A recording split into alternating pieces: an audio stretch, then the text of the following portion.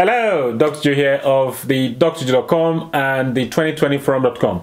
So in today's video, I'm going to be answering two questions and the two questions are blood pressure related. They arose from my last video.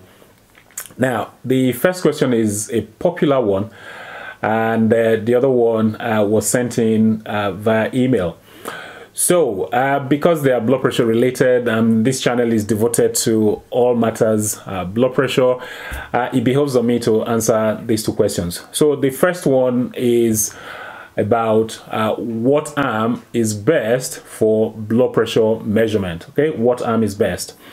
And the second one was sent in via email, like I said, and it's from a lady, and she said, Well, dear Dr. Joe, when I checked my blood pressure as per your instructions, on both arms in your last video. My left arm blood pressure reading was 142 over 88 and the reading on the right arm was 138 over 85 what arm should I use for my blood pressure measurement going forward?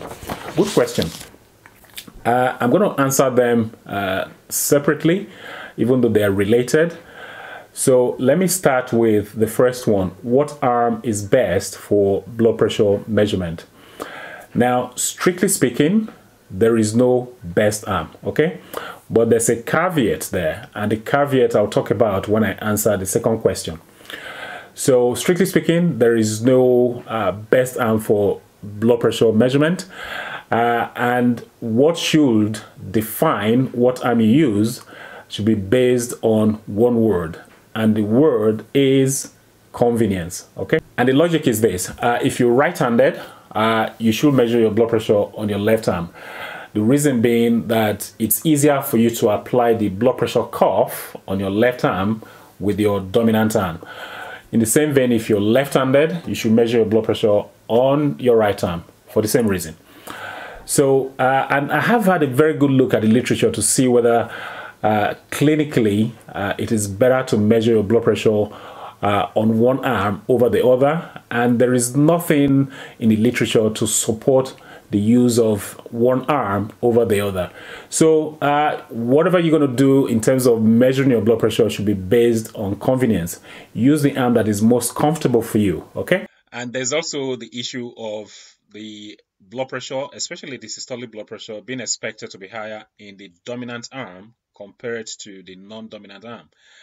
Uh, now, the reason for that thinking is that because you use the dominant arm a lot more, you're going to have more muscle development. So the dominant arm is expected to be slightly bigger than the non-dominant arm, which means you need higher cuff pressures uh, to get uh, accurate readings.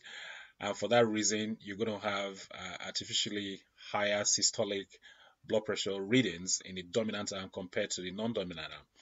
Now, I'm glad to report that uh, this recent study here, published in the Clinical Physiology and Functional Imaging Journal, uh, with the title Interarm Systolic Blood Pressure Dependence on Hand Dominance, has answered that question uh, because they looked at uh, that issue as one of their outcome measures. And they found, uh, according to them, uh, they're saying here that our results show no evidence of higher systolic blood pressure in dominant arm and thus clarifies the hand dominance issue as a factor not generally needing to be considered in clinical assessments. So there you go. Uh, you know, the question is answered here and uh, it should no longer be an issue to be uh, considered. Now, one more thing.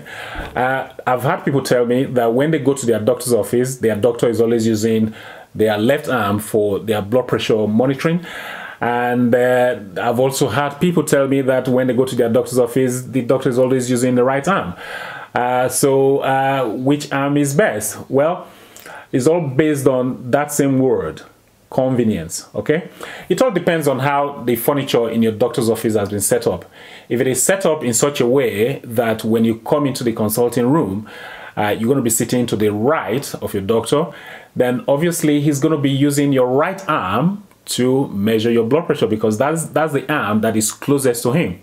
In the same vein, if the furniture is arranged in such a way that when you come into the office, uh, you're going to be sitting to his left, then he's going to use your left arm for your blood pressure measurement because that's also the arm that is closest to him.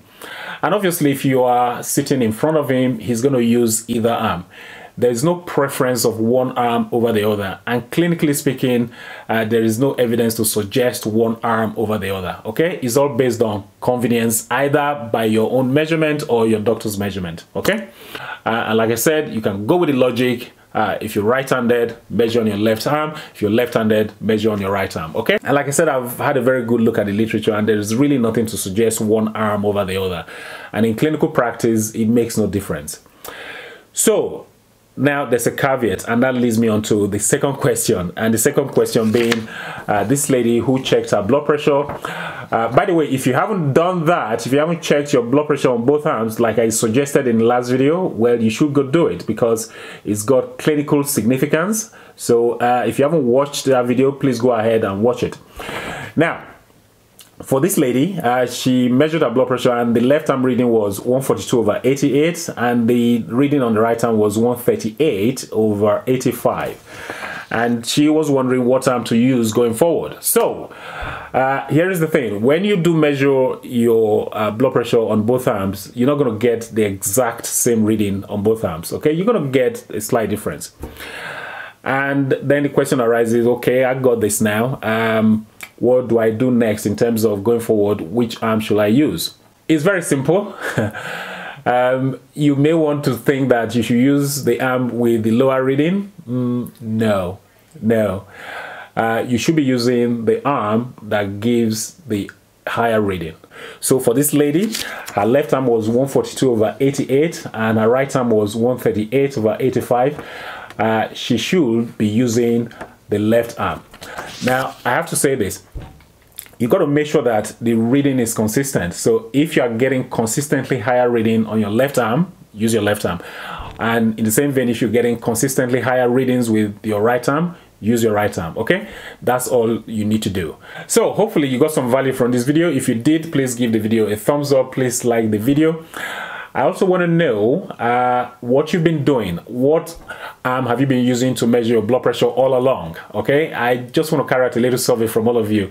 Have you been using your left arm or your right arm? Please do let me know uh, right below. Uh, and also, if you're going to change your practice based on what I've just uh, said, uh, also let me know as well. Uh, now, also please share this video with your friends, family, and colleagues. I will appreciate that. Uh, now, if you haven't joined us yet at the 2020 Forum platform, please go ahead and join us there. Uh, I think that's about it. Oh, by the way, there should be two videos on your screen now. Go ahead, click to watch any of those two videos. They are videos designed to uh, enable you to take control of your health. Uh, I think that's about it. Until next time, well, this is Dr. Joe signing out.